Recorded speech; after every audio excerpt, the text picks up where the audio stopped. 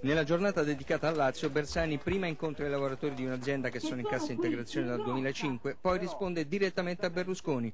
Non dialoga con la sinistra perché è estremista?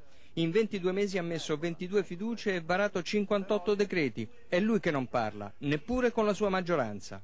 190 ordinanze in deroga, di quelle che sapete là, e così via, zittendo non solo l'opposizione, ma anche la maggioranza. Per lui non riesce a dialogare neanche con la sua maggioranza.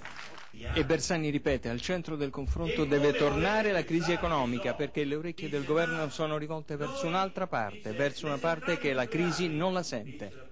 Se davvero intendesse mai avere un confronto su come fare per esempio un piano anticrisi con un pacchetto di investimenti che diano un po' di lavoro, subito io vado anche a Arcore. Vado a Arcore.